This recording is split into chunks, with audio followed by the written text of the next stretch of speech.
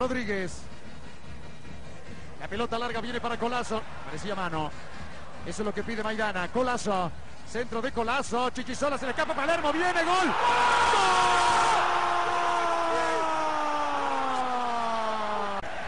No había un solo detalle que pudiera anunciar esto. Parece que Colazo la retiene con la mano.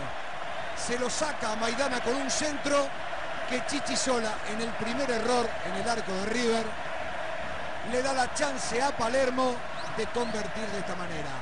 Era River dominador de todo. Colazo tira al centro. Parece fácil para el arquero.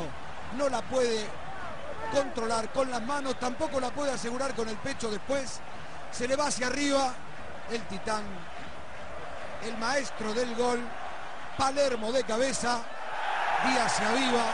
Quiere correr hacia el arco. No puede. Y Palermo que siempre...